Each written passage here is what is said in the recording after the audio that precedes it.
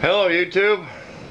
We're enjoying being out in the shop today. We got 45, 50 mile an hour winds. It's only about 44 degrees, but it's almost 80 degrees in here. But we cleaned off our desk. All summer long we had a carpenter toolbox on here, junk piled all over.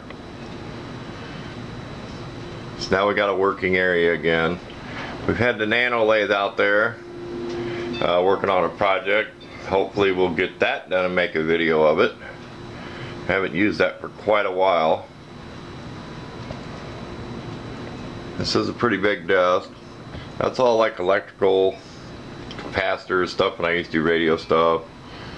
Just gonna pan up here. I have a video on the shop showing all this from my radio collection.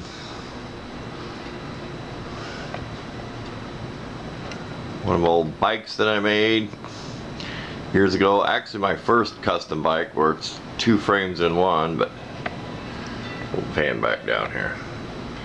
There we go. I'll snap a couple shots. I'll take one of the lathe.